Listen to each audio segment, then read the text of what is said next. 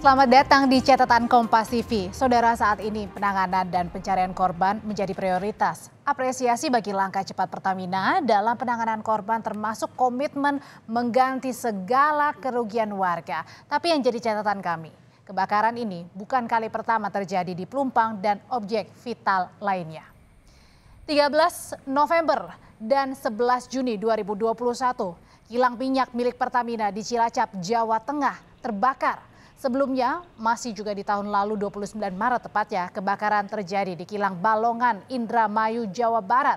Dan yang paling baru Jumat lalu, depo Pertamina di Pelumpang, Jakarta Utara terbakar, menghanguskan permukiman di dekatnya. Rentetan demi rentetan kejadian jadi alarm sistem perlu dievaluasi dan dibenahi. Data Pertamina yang kami miliki, saudara, ini Depo Pelumpang merupakan terminal BBM terpenting di Indonesia karena beroperasi sejak tahun 1974. Depo Pertamina Pelumpang ini menyuplai 20 persen kebutuhan BBM harian di seluruh Indonesia.